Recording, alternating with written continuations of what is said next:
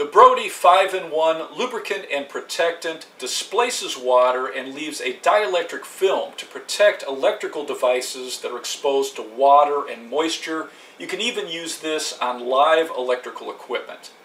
It's a penetrating lubricant that'll free up rusted parts and it leaves a film to inhibit rust. And this meets the military spec C23411. It's formulated to reduce wear, friction, and overheating on parts. You can use this on wheels, hinges, gears, bearings, door locks, and other equipment to protect and lubricate the surfaces. And this is safe for plastic, rubber, and paint. It's non-flammable, it won't freeze or dry out.